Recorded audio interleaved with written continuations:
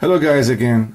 Today we're gonna finish the last lashing which is required uh, for you to advance in ranking in Boy Scouts which is floor lashing. What you see in front of you is a pioneering merit badge uh, project that my son did when he did his pioneering merit badge which is a glass watchtower or sand uh, um, glass sand glass um, watchtower. I will just show you sample or example what you can use floor lashing for, which is the area where a scout will be standing, the floor right here on the tower, and this is a lat uh, floor lashings right here and here. Okay, We'll get uh, ready. I'll start in a minute.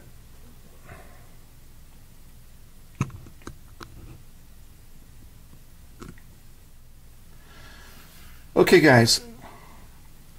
Normally, you use floor lashings to uh, to uh, lash the top of a table, or a deck, or a floor, or a signal tower, or a walkway, or a bridge, and you need at least um, two spars or stringers on the bottom and then as many as um, you need on the top cross beams to accomplish your project.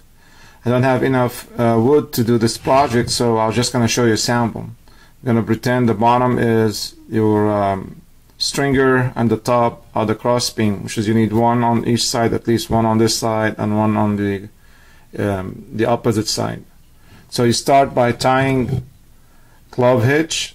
And if you don't know how to tie clove hitch please review my uh, video how to tie clove hitch on the bottom or on the um, stringer. And then go above above the cross beam around it and go under and around the stringer or the supporting beam and then continue on the next one go above. The floor beam. And then under and around the stringer. You keep going until you finish tying all the stringers down. Then you go the opposite direction this way. So I'm gonna go now in the opposite direction. Go around the floor beam under the stringer and above and around the floor beam coming back to the end. And we will tie clove hitch again at the end. So this is basically how to tie floor lashing. Should end up looking just like that one on each side.